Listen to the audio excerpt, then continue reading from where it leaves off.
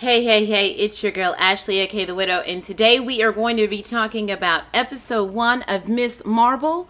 Uh, but for first, please don't forget to like and subscribe and make sure you have your notification bell turned on because I know you don't want to miss things. So, we're going to get right into this discussion and my thoughts and my feelings about Miss Marvel. Miss Marvel dropped at 3 a.m. Eastern Standard Time for me. Um, and so I had double duty last night. I started with Obi Wan Kenobi, finished on uh, Miss Marvel, and you know, I went into this show kind of thinking that maybe the show wasn't for me, um, that I possibly wasn't going to be able to connect with it.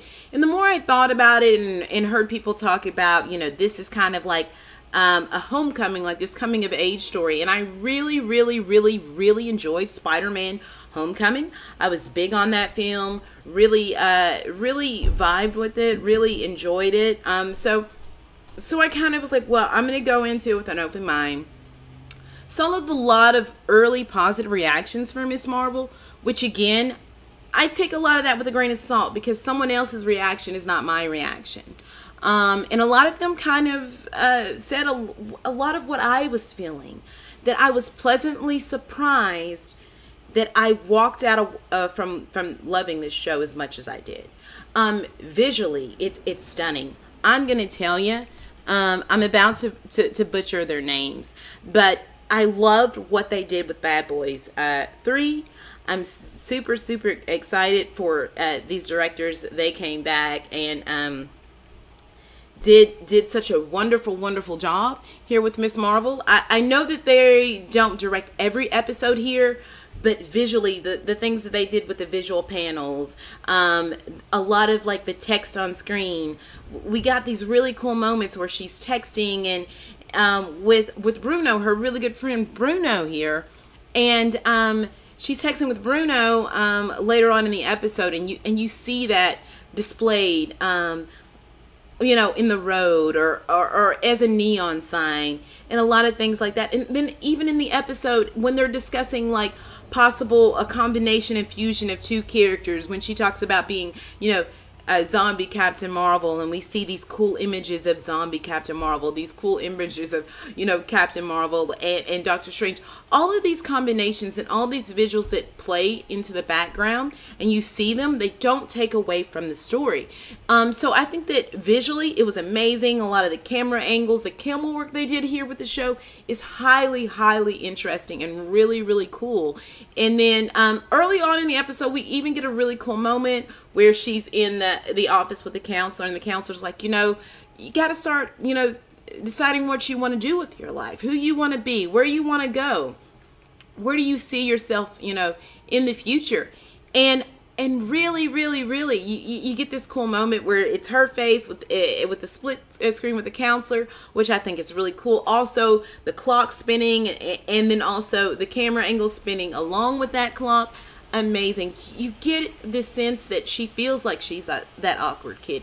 She doesn't fit in. In the opening is also uh, she's like this YouTuber. She makes these little cute little YouTube videos that a lot of people aren't watching, but she's steep in this no nerd culture. She loves the Avengers. She loves uh, Captain Marvel. Right. We also find about this really really uh, you know interesting how she got a lot of this information about what happened in, in the events of Endgame and things that happened uh, through the course of all of this because Ant Man has a podcast. So I thought that was really cool. And so, and it seems like something that Scott Lang could possibly be doing, you know, because the sense of humor and the way that, um, you know, Scott Lang is portrayed in these films. So I, I really, really, really did like that. And, and then another thing, I, the the sense of family and her mother's longing here, and and kind of like uh, what her mother was also what her parents are feeling um, and you know trying to you know uh, you know be very you know close to their culture and their identity and where they come from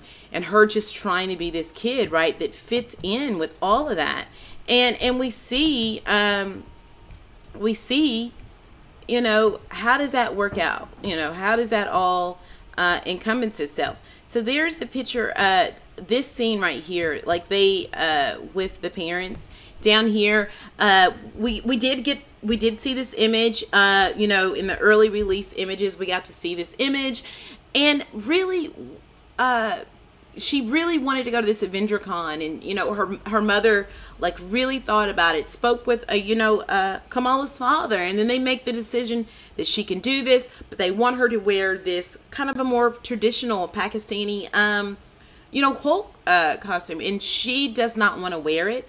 Um, and her father, uh, you know, comes in and he's like, you know, your father will go in with you. That's how you get to go. Um, she is really embarrassed at the thought of her father, you know, wearing this suit, her having to wear it, and she tells him that, you know, he can't go. And in that moment, you see how hurt her parents feel, you know. They're trying to do something for her, but they don't understand that she's just this girl who's trying to fit in and they're also truly hurt because they're trying to you know to keep those uh, those cultural connections and, and their family and, and where they come from is a big part of them. And, and and Kamala is kind of like pushing back on that a bit.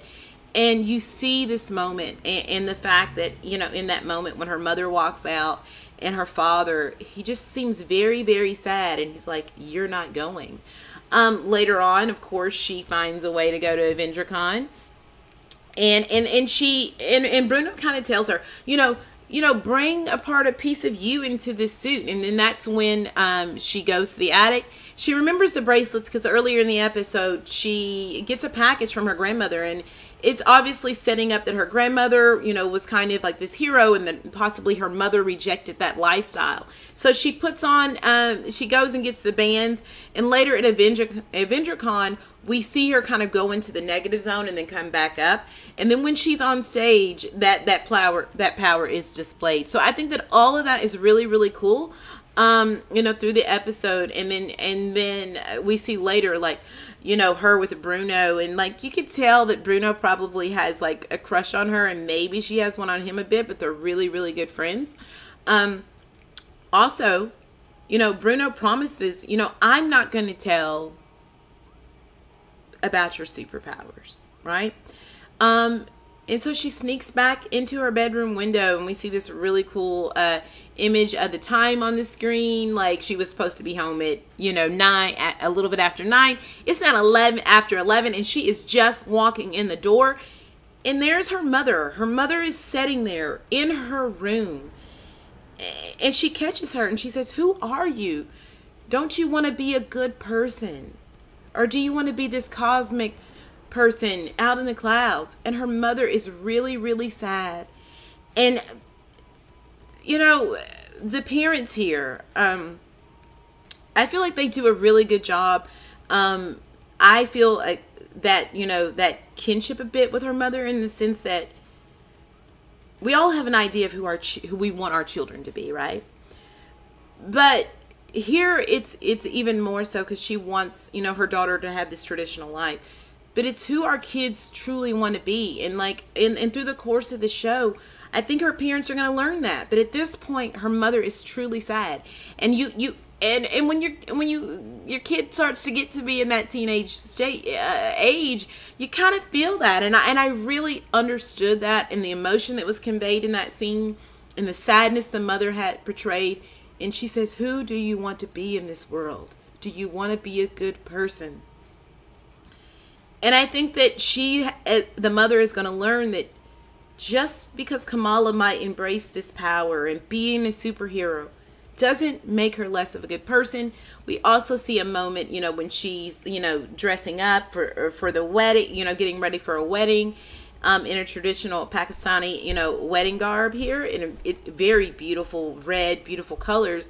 And then her mother is having a conversation back and forth with um, someone from the community, and she explains, you know, my and and the and the lady tells um, Kamala's mother, you know, my daughter doesn't want to get married.